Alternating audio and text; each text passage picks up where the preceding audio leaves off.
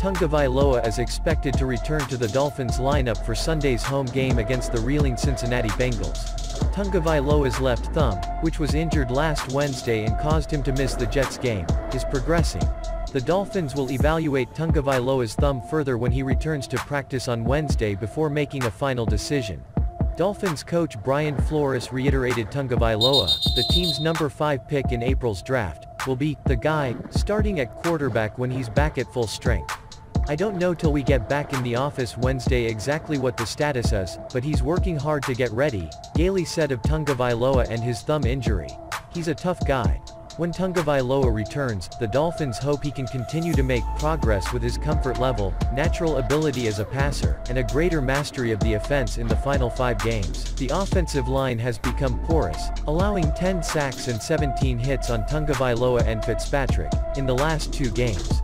The Dolphins' receiver depth behind Parker is gaining experience on the fly with rookies Malcolm Perry and Lynn Bowden Jr. To overcome the depth issues, Fitzpatrick depended on tight ends like Gesicki, who caught a touchdown against the Jets, Durham Smythe, who helped him get into rhythm with three catches in the first quarter, and Adam Shaheen, who sealed the Jets' win with a touchdown in the fourth quarter.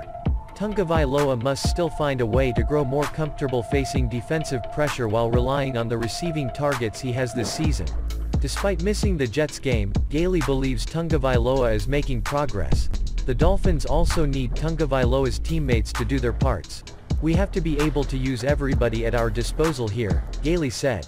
I think as the rest of the season unfolds, we're going to have to use these other guys in different and varied ways to move the football in the best way. We've got to use them all.